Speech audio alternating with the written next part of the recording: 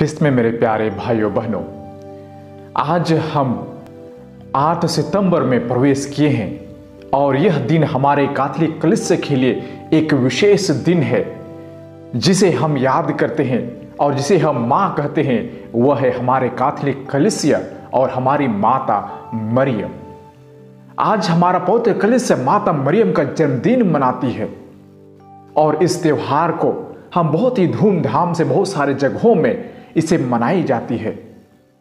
और हम जानते हैं कि हमारे माता मरियम के बारे में कई सारे धर्मों में भी बताई गई है कि एक निष्कलंक, निष्कपट स्त्री पैदा होगी, जिसके द्वारा एक पुत्र प्रसव करेगी और वे हमारे संसार को बचाएँगे। अब हमारे धर्म ग्रंथ में भी पढ़ेंगे ऐसा के अध्याय सात पद संख्या चौदह में, जहाँ पर बताया गया है कि एक स्त्री पैदा होगी जो निष्कपट होगी और वह एक पुत्र को प्रसव करेगी, जिसका नाम रखेगी इमानुअल और जिसका अर्थ बताया गया है कि ईश्वर हमारे साथ है। और हम देखते हैं, हमारे बाइबल में कई सारी जगह में यह चीज़ उद्धृत है। लूक बताते हैं, मैथ्यू, मार्क, इन सभी जगहों में हम देखते हैं कि मरियम के बारे में यह बताया गया है कि एक स्त्री एक पुत्र को प्रसव करेगी और वह लोगों को बचाएगा।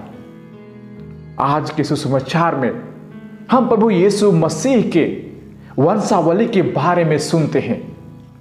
और यह वंशावली हमें क्या बताना चाहती है? हम देखते हैं कई सारे लोग इस वंशावली को सुनते सुनते वे सोचते हैं कि इसमें क्या है सुनने के लिए। लोगों को सुनते सुनते बोरिंग लगते हैं।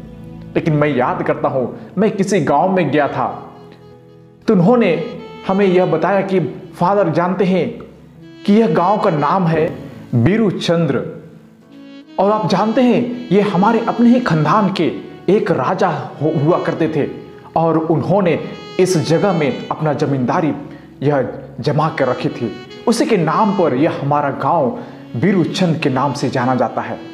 और बहुत सारे लोगों के नाम बता रहे थे कि वे यहाँ पर रहे हैं, उनका घर यहाँ पर है, वे यहाँ पर बहुत कुछ किए हैं। शायद उस मनुष्य के लिए यह बताना उचित था। वह अपने आप में वह गौरव अनुभव कर रहा था कि हमारे अपने ही दादा परदादा इस गाँव में रहे, उनके नाम पर ही हमारे गाँव का नाम भी पड़ा है। लेकिन जो सुन रहा था, शायद उसे इतना बोरिंग लग रहा होगा।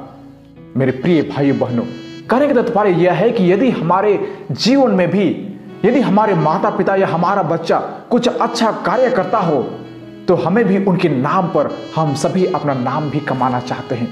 तो उसी प्रकार आज हमारे ईसा मसीह लोगों को उद्धार किया तो आज उसकी पूरी वंशावली को हम देखते हैं कि उनका जीवन कहाँ से शुरुआत हुआ कौन कौन उनके जीवन से जुड़े हुए हैं। और हम देखते हैं कि उनके जीवन में कई सारे ऐसी पीढ़ियाँ हैं जो लोगों को बहुत सारे दुख और कष्ट झेलना पड़ा था। और लोग, ऐसा नहीं कि लोग सन्यासी थे, वे अच्छे व्यक्ति थे, लेकिन उनके पीढ़ियों में भी ऐसे कई पापी लोग थे।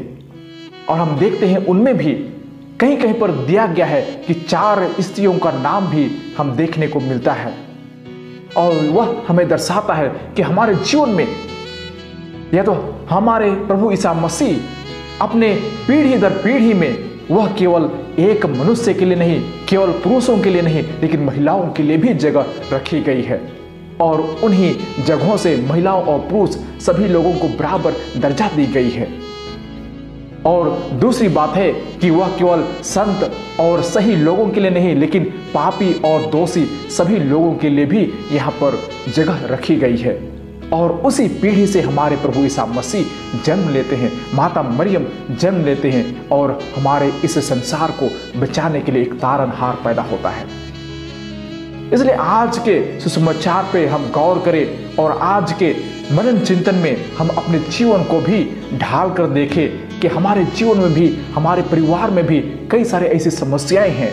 लेकिन हम अपने आप को ना कोसे कि हमारे परिवार तो ऐसे ही गिरा गुजरा है। हमारे माँ बाप ऐसी हैं। हमारे खानदान में कोई अच्छा व्यक्ति नहीं बन पाया। हम ऐसा अपने आप को कोसे नहीं, लेकिन हम देखते हैं कि हमारे परमेश्वर का ज़िंदगी में भी, उनकी पीढ़ियों में भी कई सारी समस्याओं से जूझ कर वे आज हमारे संसार को बचाए हैं। इसलिए हमें अपने जीवन में हमेशा अच्छाई की ओर बढ़ने के लिए परमेश्वर से यह कृपादान उनसे वह शक्ति मांगे जिसे हम पीढ़ी दर पीढ़ी अच्छाई की ओर ही बढ़ सके। आइए हम इस त्यौहार में मरियम के जन्मदिन के अवसर पर हम यह कृपादान मांगे कि माँ मरियम हमारे लिए भी प्रार्थना कर, जिससे हम भी अपने आने वाले संतान, हमारे आने वाले पीढ़ी के लिए भी हम एक नमूनामय जीवन जीकर हम लोगों को वह राह दिखा सके। आइए हम कुछ देर मौन रहे और परमेश्वर से यह कृपादान मांगे।